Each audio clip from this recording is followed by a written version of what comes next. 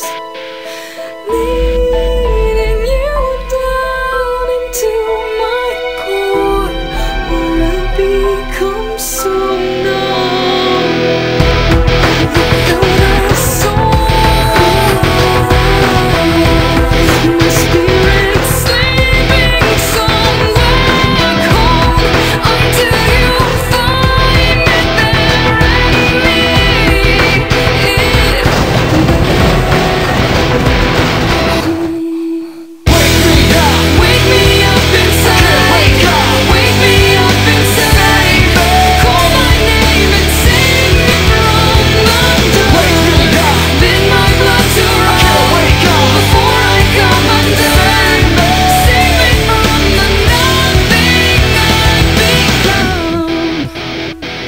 Yeah.